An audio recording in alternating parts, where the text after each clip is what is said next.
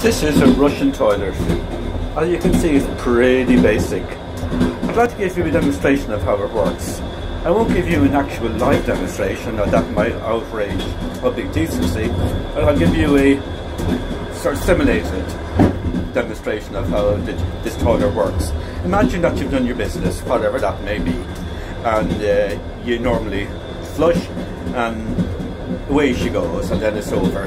Here's what happens in a Russian uh. So you imagine that you did your business, and there's a little foot pedal down here on the floor, and you press the foot pedal, and now you see it, now you don't.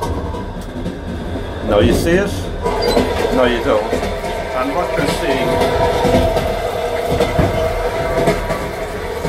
and what you're seeing is the.